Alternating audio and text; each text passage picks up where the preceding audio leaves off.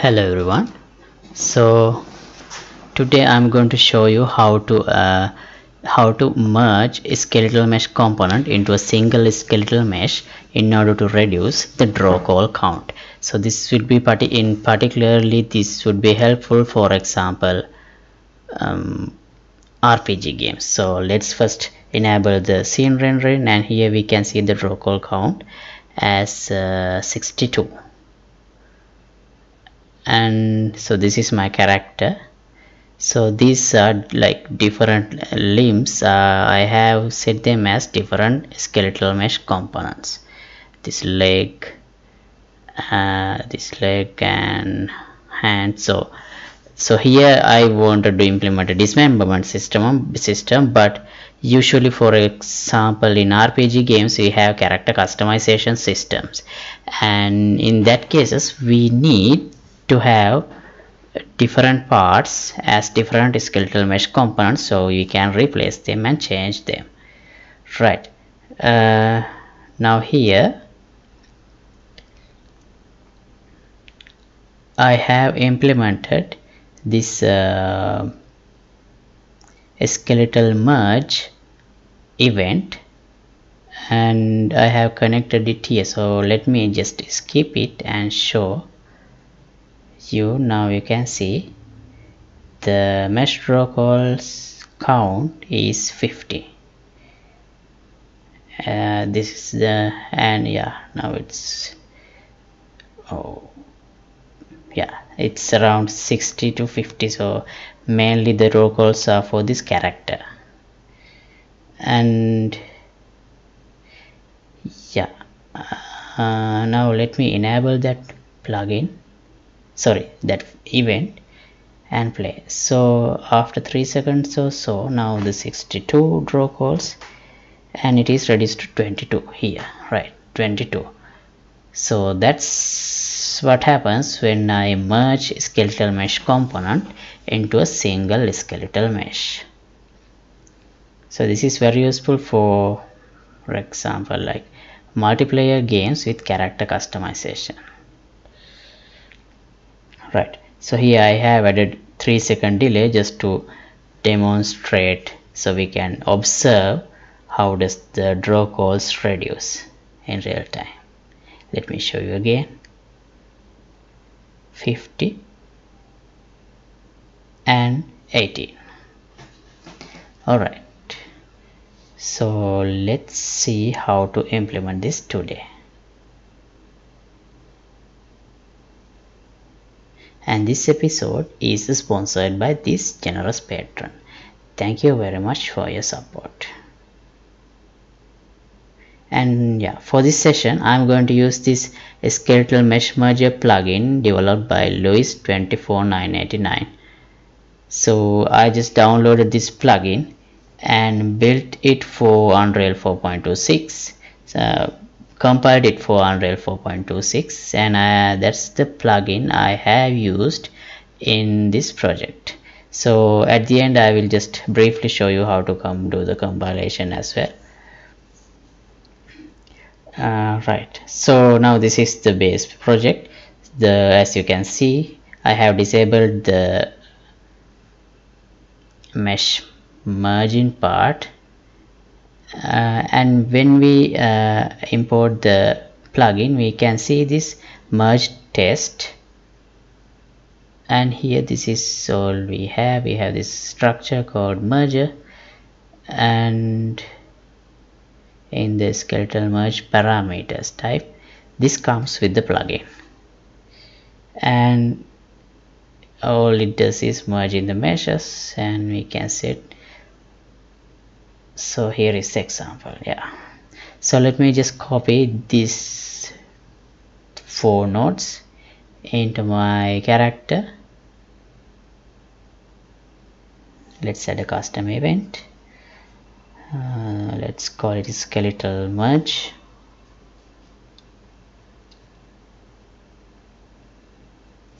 Oh sorry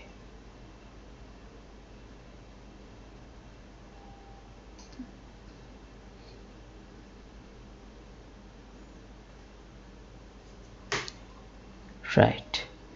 Now let's paste and connect. So here mesh we already have a mesh. And for this merger uh, yeah we have to select the skeleton. So I'm going to select the zombie skeleton because that's the skeleton we have used for this mesh this base mesh.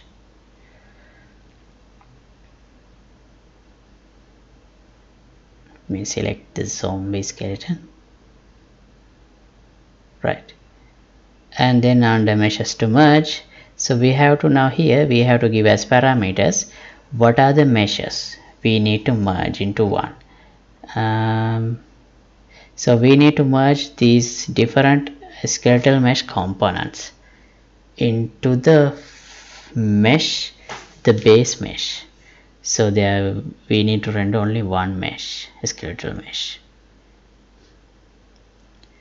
right so and also uh, so we will be applying or changing these components dynamically. So we need to get whatever the skeletal mesh we have applied to each of these components through the code not just set them as in the parameter.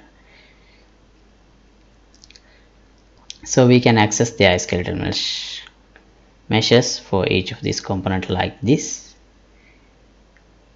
Using the get skeletal mesh? Getter uh, now we can set members in this merger parameter merger structure this way. And so we need to set this meshes to merge so let's tick that. Now we have a parameter to set it. So let's drag a line and make array. Right we need five pins. Connect them one by one. Okay so after that they will be merged into a single param single skeletal mesh and then we can uh, accept the base mesh. We can hide other components because we don't need to render those components once they are merged into a single skeletal mesh. So yeah after this the dismemberment thing i implemented will be broken but that's not the not what I want to do here I want to show you how to use this margin part. So right. Now uh, let's set hidden in the game all of these other components. Set new hidden to true and connect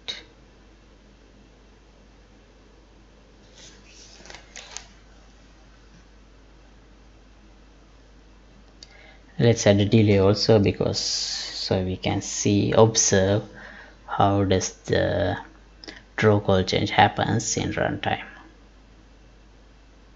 And let's call that function somewhere from the begin play sorry. Yeah begin play here let's call it.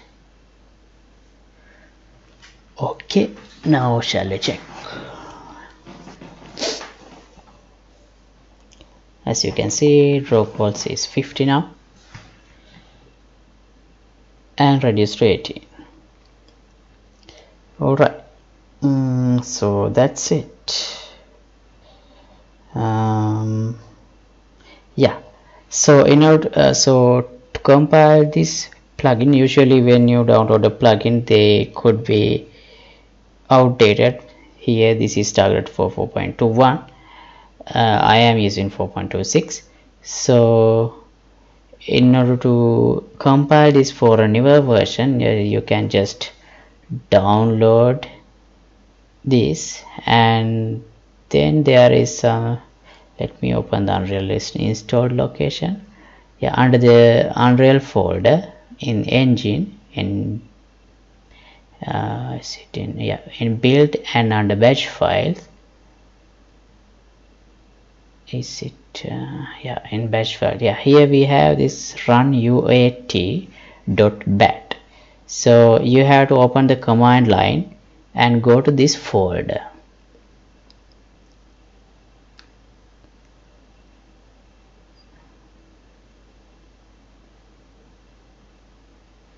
Right and after that you have to run this command. Um, run uat bat build plugin dash plugin. So this first path after plugin shows where the location that I have downloaded the plugin. This part. And the next part after dash package uh, that sh shows where the compiled uh, plugin should be stored. So after this command is executed in that given location a compiled a project with the compiled plugin will be created. And yeah. That's that's all actually you have to do uh, unless you get any errors. So yeah. So with that i'd like to stop this episode and if you like to support my work you can get the membership of patreon club. And also the project files for this project will be available. Uh, download link will be in the description below. And thanks for watching. See you in another episode. Goodbye